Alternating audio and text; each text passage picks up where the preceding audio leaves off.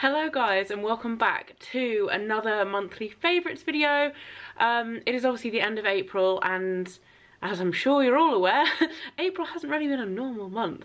Um, but there have been a few things um, that I have been loving. Obviously, not necessarily makeup items because I feel like aside from now when I'm filming, I haven't really been wearing much makeup at all. Maybe concealer and brows and mascara, but apart from that, not a lot but I still have been using quite a lot of products quite a lot of skincare body care. Um, so I thought I would do my monthly favorites this month and talk to you all about things that I've been loving. Um, I'm going to start off on the product side as well because I've also got a few other things. I've got a TV show a drink um, a few other bits and bobs as well. So starting off from a product point of view like I said there's no favourite makeup that's like new discoveries this month. Um, but there is a lip balm which I am completely and utterly obsessed with. And I like to be really really honest I was sent this and I thought that looks fine I'm not a massive fan of um, the rest of the well not not a massive fan but like I'm not a crazy fan of the skincare range. I love the makeup. It's from Charlotte Tilbury. I feel like I should tell you this. It's from Charlotte Tilbury um, and it is her new um, magic lip oil and I'm not a crazy fan of Charlotte Tilbury skincare. I love the dry masks but in terms of the magic cream um, and all of that stuff, the eye cream, the night cream, I'm not, I, I wasn't blown away by it, like I liked it but I wasn't crazy about it. So when the lip oil came I was kind of like, oh okay, tried it, oh my god I'm addicted to this stuff. It is divine. It's actually a rollable um, which I'm not crazy about rollable lip products because I feel like it the germs from your lip go back in. And I'm not really like a germaphobe well until coronavirus happened. Um, and now I'm a little bit more conscious about it. Um, but in terms of like it's just it's I don't know but it's a dream to apply. It smells divine. It leaves your lips super soft and like glossy and just really really nice. Um, yeah it says lip conditioner by, by day lip mask by night. Use it 24 7 obsessed with that. Absolutely love it. Um, she also released the serum which um, I tried a few times and wasn't like crazy blown away. Um, although I have to say I have heard a few good reviews so maybe I need to give it like an extended trial because skincare takes a long time to um, actually see any benefit from. But the lip balm or lip oil is fantastic um, another like well it's not really skincare it's a tan product that I've been loving this month is from James Read and it's the new Click and Glow Tan Drops Gradual Tan. Now I'd previously been using my favourite Super Glow um, serum from Tan Luxe which is the hyaluronic acid serum with fake tan in it.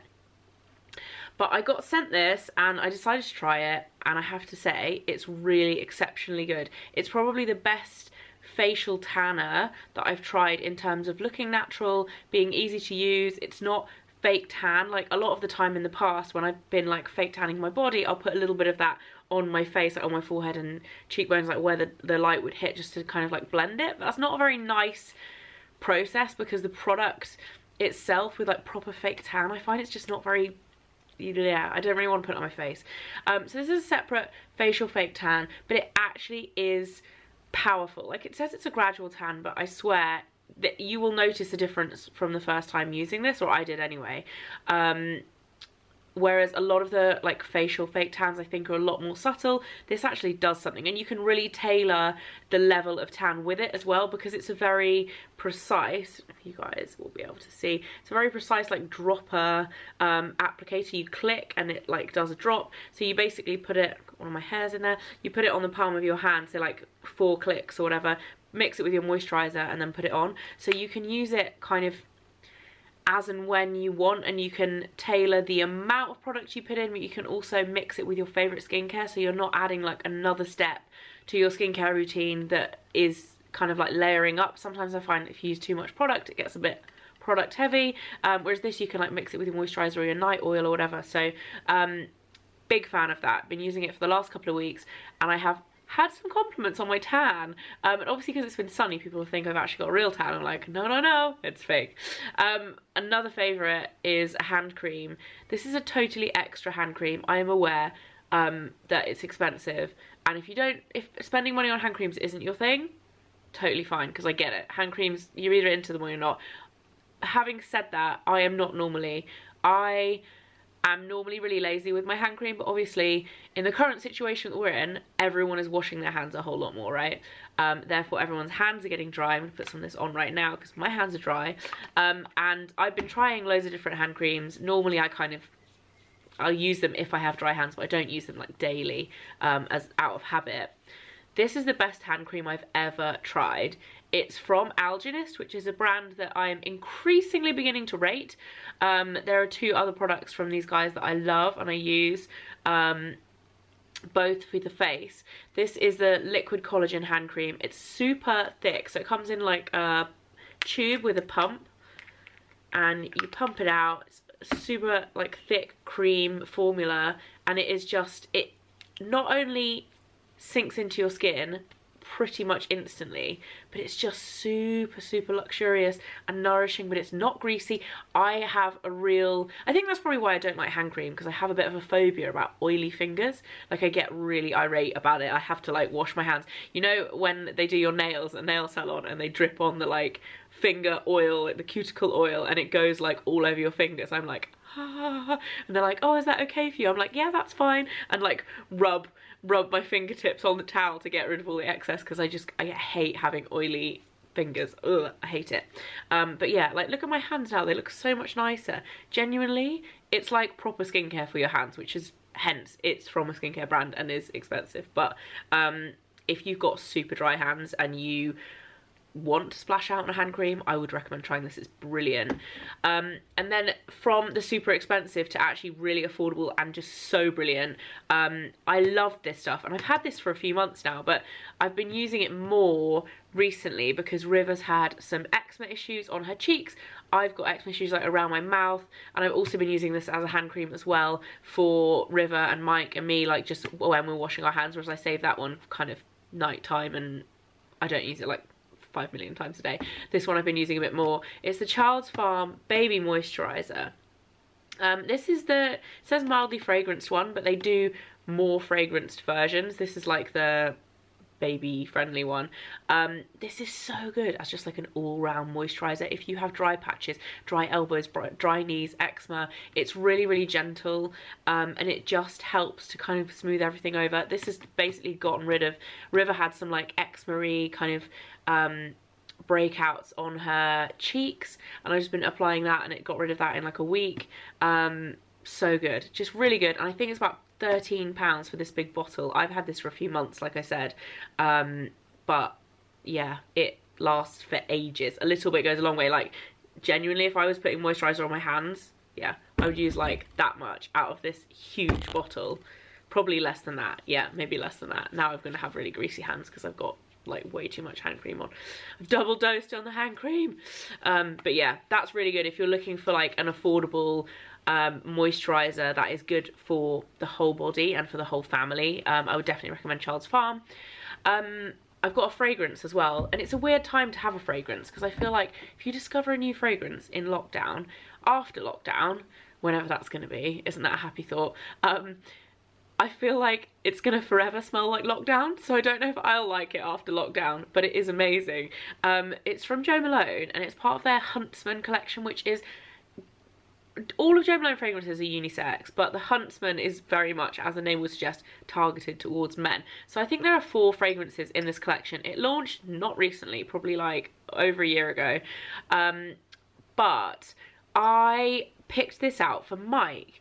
Um, I was at an event with Jo Malone, and you guys know I work with Jo Malone a lot, so I've got all of the Jo Malone scents that I like. They haven't haven't released a new one kind of recently, so all of the ones that I like I have already. Um, and they really kindly offered to gift us a bottle and engrave the top It's got Mike's initials on the top. So instead of picking one for me, I actually picked one for Mike because I discovered this collection and I hadn't smelt it before because it was a male launch. I hadn't heard anything about it. Um, and it smells divine so I got this for Mike, brought it home. Mike started wearing it and I was like, you smell amazing. I'm going to start wearing it. And now we both wear it. It's the Assam and Grapefruit Cologne. It smells so good. If you like lime basil and mandarin, like the original kind of Jo Malone, um, fresh kind of citrus scent with a little bit of a twist. Obviously Assam tea, so it has that tea kind of um, base to it but then it has the grapefruit that's like sweet and sharp at the same time. It's not as kind of um, clinical smelling as if it was lemon or lime because sometimes I find that they're a little bit like kind of less sweet than grapefruit. It's just got that really lovely fruity but not sweet sweet scent. It's so nice and like the perfect unisex scent. Genuinely Mike and I both wear this at the moment every single day love it and then another favourite, and I just breathed it in, it doesn't taste nice, just telling you now. Um, another favourite is a gin. Um, I love gin and tonic. I've always loved gin and tonic. Um, it's probably my drink of choice when it comes to having a drink. Obviously, a lot of us are now making cocktails and drinks and whatever at home. Um, so I thought I would share a favourite discovery. I've actually spoken about this on my Instagram, so you might have seen it already. Um, but it is Cooper King Gin. Now this bottle is actually the herb version which is not my favourite one. My favourite one is the original one. The herb one is still very good but the original one which is in the pinky purpley bottle um, is so delicious. I actually bought, um, I bought this one and I bought the previous one which is the original which I had um, around Christmas time and we didn't open it. Um, I think I bought it because we were having some parties and stuff and I thought oh we'll make sure we've got some gin and then we just didn't end up finishing the previous bottles of gin so we didn't open it. And I opened it um, probably like the beginning of lockdown kind of like six weeks ago um, and absolutely loved it. Like loved the taste loved the, the bottle is beautiful as well when you see it. Like obviously the this one is beautiful too but the other one is like very much up my street pinks and purples kind of vibe. Um, and I didn't know much about it and I posted how nice it was on my Instagram and then the company actually got in touch and told me about the fact that they're producing hand sanitizer for the NHS. Then I looked into their Instagram when they told me that and found out they're actually a sustainable company as well. So their factory is supplied by um, renewable energy. They plant trees for every bottle they sell. Um, they also um, are making hand sanitizer and donating it to the NHS. So at the moment when you buy a bottle, um, you automatically get a little bottle of hand sanitizer and if you buy some of their hand sanitizer uh, like liquid it's not gel it's liquid um, then they also donate a bottle of that to the NHS which is awesome. So yeah I discovered it and fell in love with it for the flavour and then I completely got really on board with the brand as well because it's just a really nice brand. So if you're looking for a new bottle of gin and new something new to try and you like gin and tonic too definitely recommend Cooper King. They're based up in Yorkshire I think. Um, so yeah delish and, oh, TV show. Favourite TV show this month? It's kind of like out of date now because it came out, I think it came out at the end of March. No, at the beginning of March. And I watched it in March but then I also finished it. We, we watched it in like two nights, but I spoke about it in um, one of my isolation like weekend vlogs. So if you watch those, you'll have known that I became completely obsessed with noughts and crosses. I never read the book when I was a kid. I don't know why because it was out like at that time when I must have been at that age to read it. Like I feel like it came out in like 2002 or something. I looked it up. And so I would have been like te like early teens, mid-teens when it was big. It was like a really really famous book.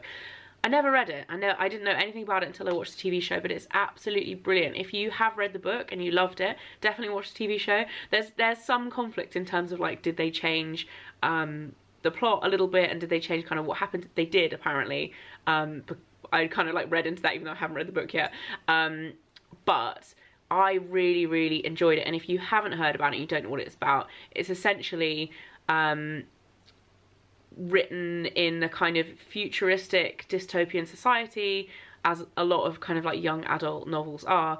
But it's really interesting because it's almost there's like it's almost as if the apartheid in South Africa happened backwards racially and it was in the UK so it's set in the UK but there is a huge social division based on race between black and white um, and it is just fascinating and the acting is brilliant. I loved both of the lead actors in it um, and I just loved the plot and I it just I, I really was totally addicted to it. So if that's your kind of thing, if you were into, I would say like the Hunger Games, um, and Divergent and all that kind of stuff, but I actually don't think those film adaptations were good at all, but I loved the books. So if you were into those kind of books and you thought those films were lame, this is one of those things where presumably the book is very good as well because people loved it but the actual TV show series was brilliant in my opinion. I loved it. Um, so yeah that was a favourite this month as well. Um, I'm not going to pretend I read any books. I didn't. I haven't really listened to much in terms of podcasts either. It's weird because my time when I listen to audiobooks and podcasts is in the car and obviously like I haven't been driving anywhere um, so I haven't been listening to much this month. Um, but yeah, that's it for my favourites. I hope you guys have had a nice month even though it's been a tricky one, it's been a weird one. Um, I hope you're all safe and well and sending you lots of love and I will see you very soon. Oh, actually, the other thing that I was going to mention, the other thing that is a favourite this month is gym gear and the Peloton.